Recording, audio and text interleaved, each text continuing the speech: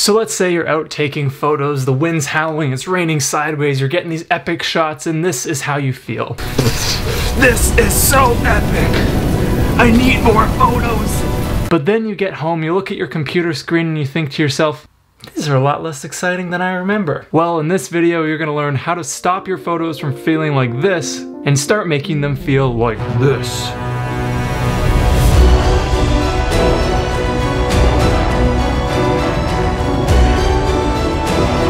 Friends, my name is Brendan from BWillCreative.com and today we're going to learn how to make your photos look and feel a lot more dramatic like a Viking storming the beach and not like a Pinterest board telling you brownie recipes. The process of making your photo look more dramatic is pretty straightforward and we're going to walk through the step-by-step -step process here in Lightroom. So once you have your photo here in Lightroom, what we have to do is start by correcting our exposure around because right now this image doesn't look too bad, but it doesn't have that dramatic moody feel that we're going for. To achieve that type of look, we need to do a couple of specific adjustments. The first thing is we need to have a darker exposure favoring lots of contrast because that's what makes things pop and look a little bit more dramatic in your images. The next thing we need to do is deal with our colors. We don't want to make things look too colorful, but we don't want to desaturate stuff completely, so we'll have to do some selective color adjustments here. Luckily, that's very straightforward. And then lastly, we can go through and do some selective adjustments to bring it all together and finalize that nice gritty look that we're going for. So let's start things off with our exposure adjustments.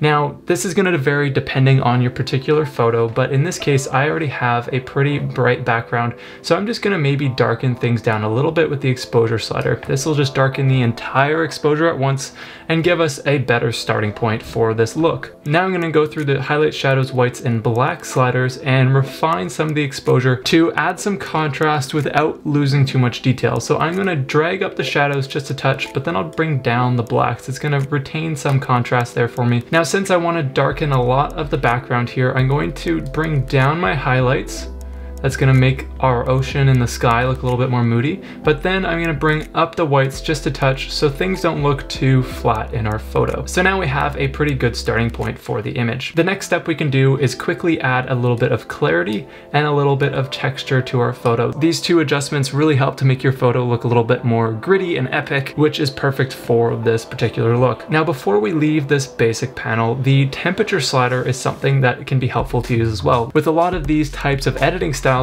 favoring more blue or cool color temperatures can sort of help to give your photo a more epic feel. So let's just drag this down a little bit into the blue area so the whole image just feels a little bit cooler. Now let's go down and deal with our tone curve. Here in the point curve, clicking on this option right there, I'm gonna just add some contrast. So drag down the shadows, then I'm gonna drag up the midtones just a touch, and then I'm gonna drag up the highlights just a touch as well. So now turning that on and off, we've basically just added a little bit of life into our photo. Although you might start to have one area look a little too dark or too bright, it's not to worry because we'll be going through later on to adjust the exposure of everything individually with our selective adjustments. Now with our tone curve adjustments done, let's go to the HSL adjustment. And this is a really important adjustment for our moody look because we don't want to have too much color that's too noticeable in our photo. We don't want things to look crazy saturated However, we don't want it to look black and white and totally gray, so we have to find this happy medium.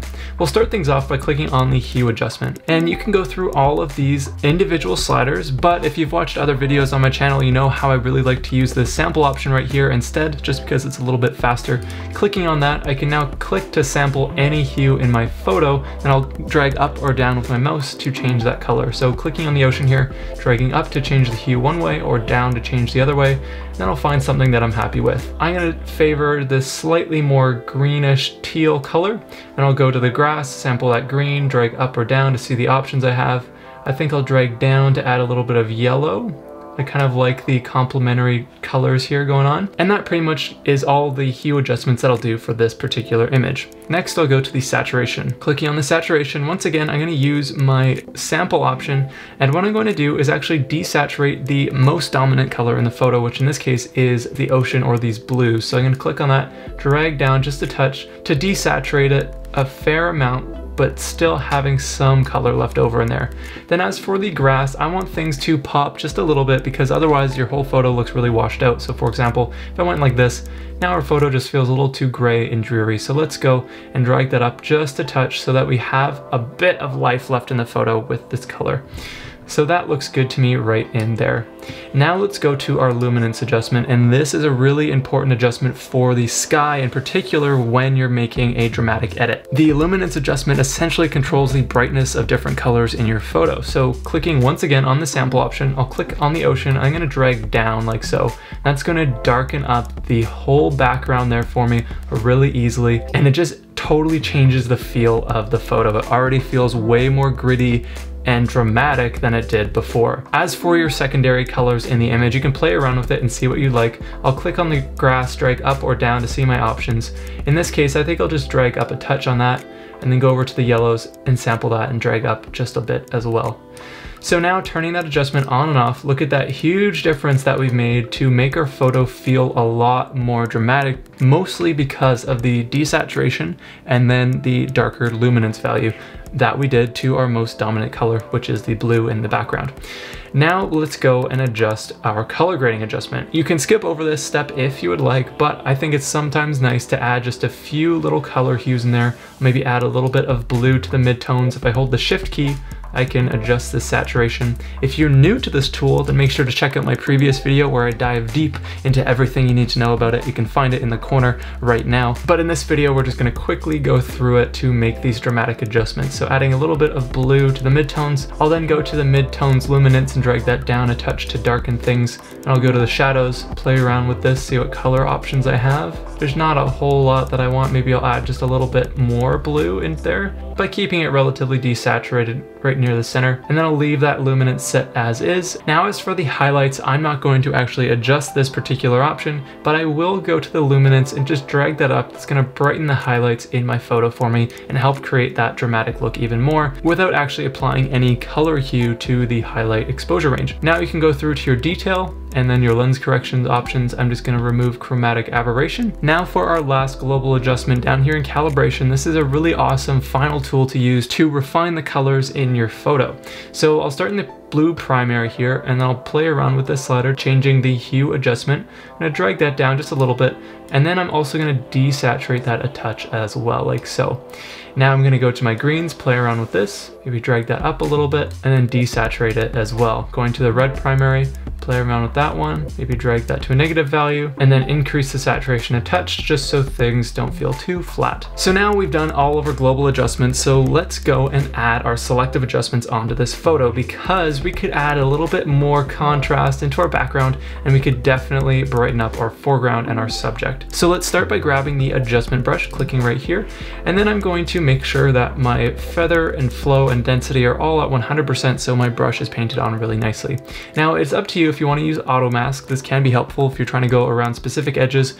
And in this case, I think I will use it just because I'm going along the edge of this cliff and I don't want to affect the ocean as much. If you're unfamiliar with auto mask and how all of that works, then make sure to check out my video talking all about that that you can find up in the corner right now as well. So now I'll click and paint around the area that I want to adjust first, in this case, all the foreground.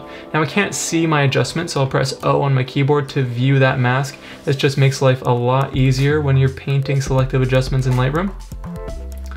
So something like this, then I'll go and paint over my subject like that. And perfect. So now we have a good selection around our foreground. Press O to hide that mask. And then I'll go to my exposure adjustment, click and drag that up just a touch, and then add a hint of contrast back in there. You can play around with the exposure range sliders as well, just to refine things a little bit. So that looks much better to me right there. Now I want to go and apply a gradient filter to the sky of the photo just to add a little bit more darkening. But before I do, make sure to hit that like button down below or else I just can't continue this tutorial. I'm uh, just kidding.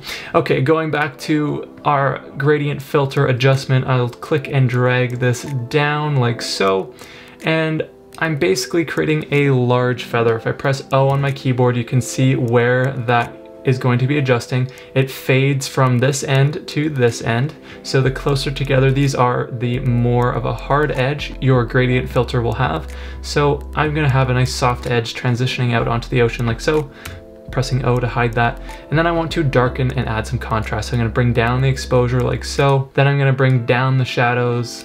I'm gonna bring down the blacks, but then I'll bring up the whites and as well with the highlights. And then finally we can adjust the contrast slider like so.